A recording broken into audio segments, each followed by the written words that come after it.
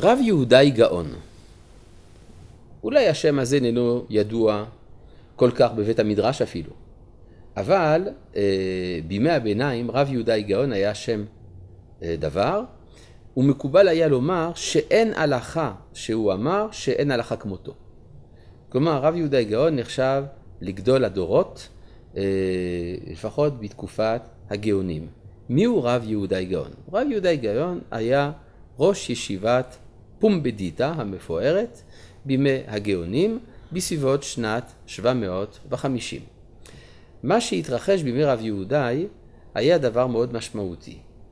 הדבר הראשון הוא שפרצה בימיו הקראות, כלומר הכת הקראית בהנהגתו של ענן בן דוד ובנימין נהוונדי, שלא קיבלה את סמכות התלמוד ורצה לחזור אל התנ"ך כמקור סמכות יחיד בתורה, אה, בפסיקת ההלכה ובכלל בתורה. ובימיו רב יהודאי גאון צריך לעמוד מול הפרץ הגדול של הופעת הקראות.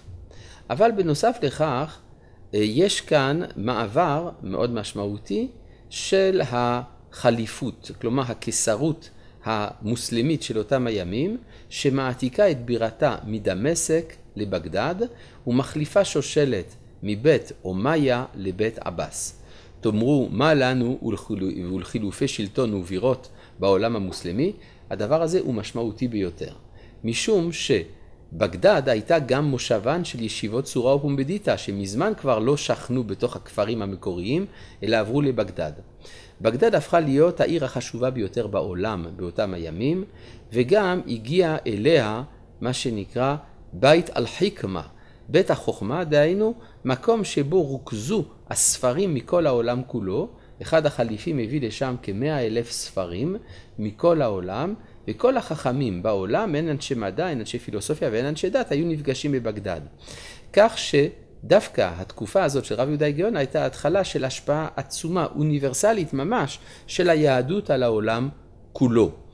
ורב יהודאי הוא בעצם הדמות התורנית המרכזית שאפשר לומר מנהלת את התנועה הגדולה הזאת, ומתחילים תלמידיו להעלות על הכתב את ספרי הלכותיו. שני ספרים הלכתיים גדולים וחשובים אה, יצאו מבית מדרשו של רב יהודאי. האחד, ספר הלכות גדולות, שבעלי התוספות סברו שהוא מעשה ידיו של רב יהודאי בעצמו, אין זה נכון, הרמב"ם מוסר לנו את הידיעה ההיסטורית שמחבר הלכות גדולות היה רבי שמעון קיארה, אחד מתלמידי רב גאון, על כל פנים, בכל מקרה, אה, בית מדרשו בא לידי ביטוי שם. הספר השני, הלכות פסוקות, שיש אומרים שרב גאון, שרב יהודה גאון הוא המחבר, אבל כנראה שגם זה מחוגי תלמידיו, ואנחנו רואים הרבה פעמים התאמה בין שני הספרים, ולפעמים מחלוקת בין שני הספרים או התעסקות בתחומים שונים. בכל מקרה, ספרים אלה הם הם אלה שהיוו את היסוד של פסיקת ההלכה של ימי הביניים, וחבל שהם אינם נלמדים די הצורך אה, בבית המדרש.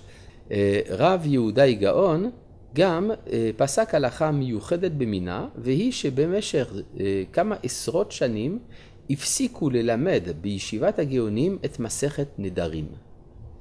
ההסבר הרשמי הוא משום שמסכת נדרים אה, מלמדת כיצד לבטל נדרים. ומאחר והדור היה פרוץ מאוד בנדרים מיותרים, רב יהודה רצה להחמיר, שאנשים לא ידעו כיצד מתירים נדרים, ואז יימנעו מלנדור.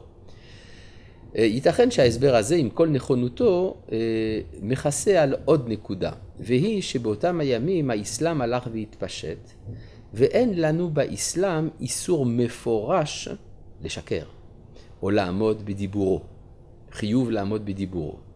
ולכן היה צריך לעומתם להראות שבני ישראל הם הם אנשים שעומדים בדיבורם.